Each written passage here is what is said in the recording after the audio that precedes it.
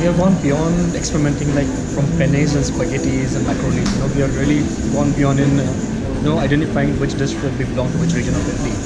So right now, if you see our menu is comprising of a lot of dishes which not only are uh, you know like basic pasta, which are like we are really going. If you see in my product, that's the handmade pasta which is right there.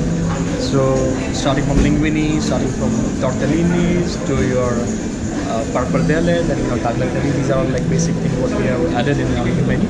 So menu will feature a lot of dishes from specialty regions.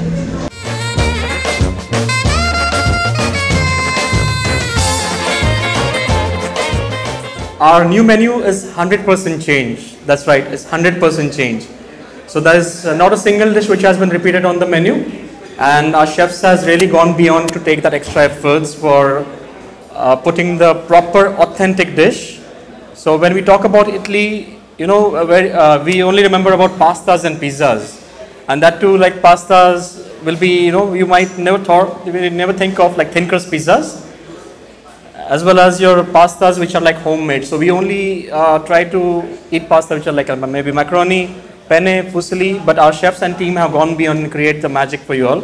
Chefs are creating a beautiful experience for you all. So this is fine duck along with beef carpaccio which is truly from Emilia Romagna region as well as we have a nice spaghetti which is with scampi. So just to create that experience our chefs has really worked hard. So can I have a round of applause for my team? food and beverage team.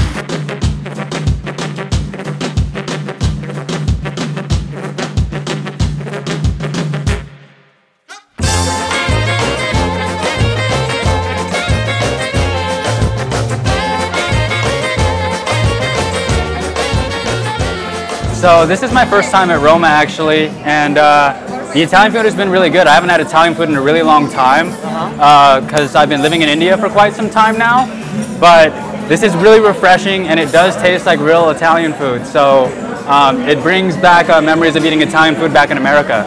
Well, uh, as you can see, I had a really fantastic experience. I tried a lot of different dishes up there and all of them were great. Uh, had a couple of the pizzas as well. Right. The atmosphere here is wonderful and the food was excellent. I recommend it to everybody and I will definitely be back here again to see you Thank you so guys. much. Thanks a lot. Per, per una come me eh, che non ama il piccante mi è piaciuto tutto, l'ho trovato molto soddisfacente ehm, e adatto a un palato italiano non abituato ai cibi, ai cibi piccanti, quindi fatti bene, ehm, con criterio, insomma, molto saporiti.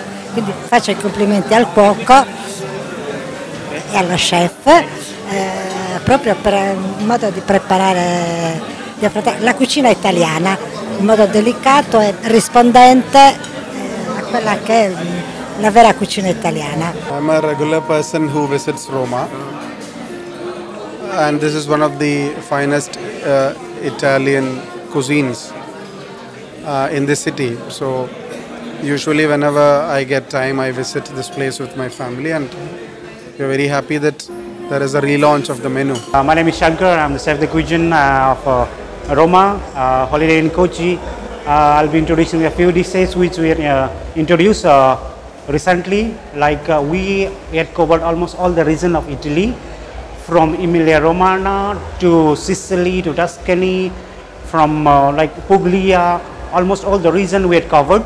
And the best part is uh, you from the starter you should try Parmigiano Reggiano from the Parmigiano Reggiano.